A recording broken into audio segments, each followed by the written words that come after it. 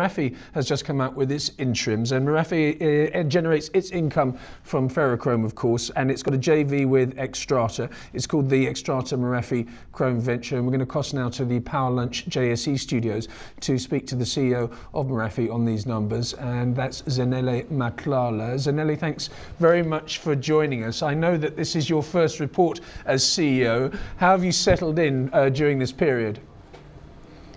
Uh, you are right. It is my uh, my first uh, set of results.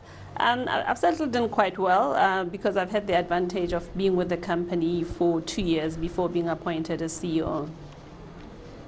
Okay, let's have a look at the numbers now. Your revenue was down 7%, your profit was 138 million, and you had a 57% increase in basic earnings per share. So a pretty good number considering the challenges that you're facing. I mean, uh, I suppose that the Rand has been the first thing that has really boosted those earnings per share, a weakening trend, and that's obviously very good for you. Yes, indeed. I mean, the rand is a contributing factor uh, because uh, it the exchange rate uh, weakened by about 14%. Those, that contributed to positive results. Uh, but also, uh, the you know, in terms of costs, we've managed to keep our costs down uh, because when we had those power buybacks from Eskom, we actually only operated the more efficient furnaces and therefore kept our costs down. Yeah, the other thing that, uh, actually, let's focus on that Eskom story. How much longer is this situation going to be in place between yourself and Eskom? Uh, it has actually come to an end as at the end of May. Uh, it was an arrangement that lasted between uh, February and May. So at the end of May, it came to an end. And uh, currently, we in just winter uh, months where anyway the power tariffs are more expensive, so production is being curtailed to deal with that uh, more expensive uh, power prices.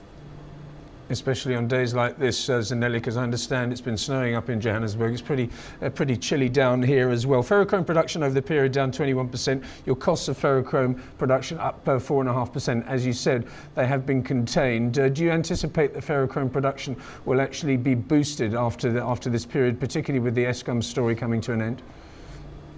Uh, it should be boosted uh, when we come out of winter months. At the end of August, we get to the um, more, at the end of the more expensive tariff. Um, then we get to September. We should start ramping up production about that time.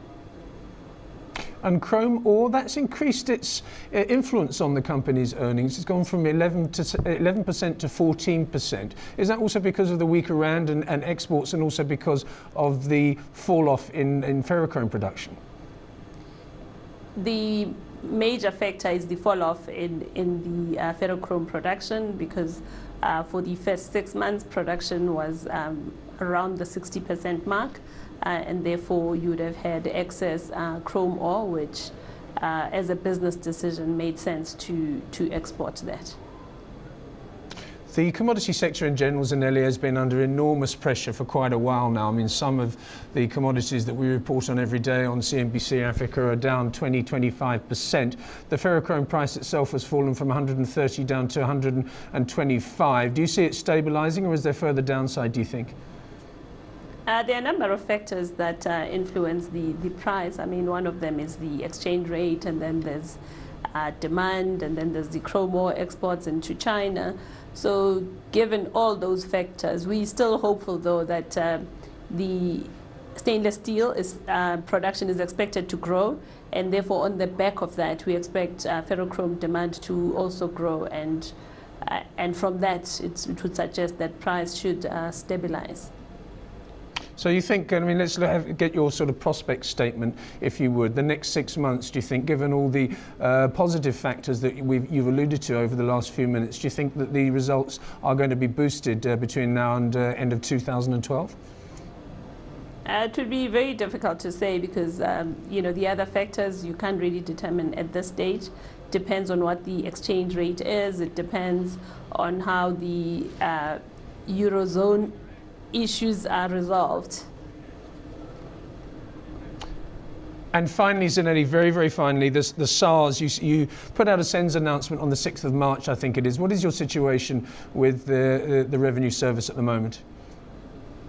Um, at, at, the moment, uh, initially we, we had um, an assessment uh, which we objected to and that was withdrawn by SARS.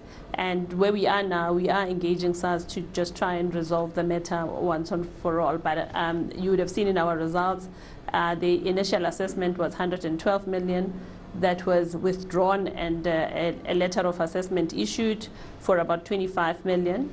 Uh, but we are engaging SARS because we believe we've got uh, legitimate grounds to challenge that. And uh, hopefully by the time we report um, our year-end results, uh, this matter should have been put to bed. Zanele, thanks very much for your brief time at this lunchtime. That's Zanele Matlala, who is the CEO of Merafe, whose interim results to the end of June were released uh, earlier.